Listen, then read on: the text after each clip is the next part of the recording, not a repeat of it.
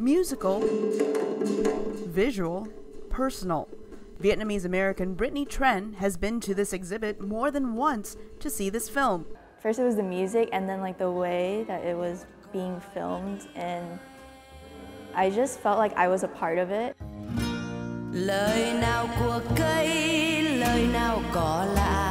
I just felt really connected to it in like a strange way. Especially through this song. Was a song written during the Vietnam War, and it's a metaphor for death. This is Tuan Andrew Nguyen via Skype from his studio in Ho Chi Minh City.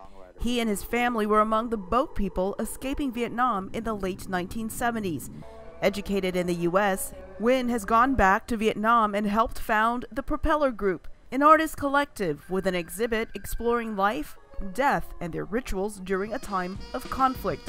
It's something that's always in flux, and, and I think part of that comes from like the many, many kind of wars that Vietnam has, you know, been engaged in over the last few centuries. How people die and live as a result of politics and ideologies is a theme in this exhibit as seen in this experiment when this motorcycle called the Honda Dream is left outside overnight and stripped bare.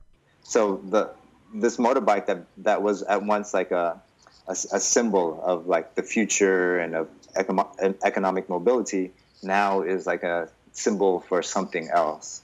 The Honda Dream becomes this like physical manifestation of how ideas of capital and communism have kind of shifted over the last like 10 15 20 years in in a in a communist society this exhibit's houston curator says the vietnamese american community in town has been especially drawn to this exhibit and it's also one of the cities that um, has one of the largest populations of vietnamese this exhibition will resonate and will bring uh, forth questions and will open conversations about uh, the identity of Vietnamese Americans.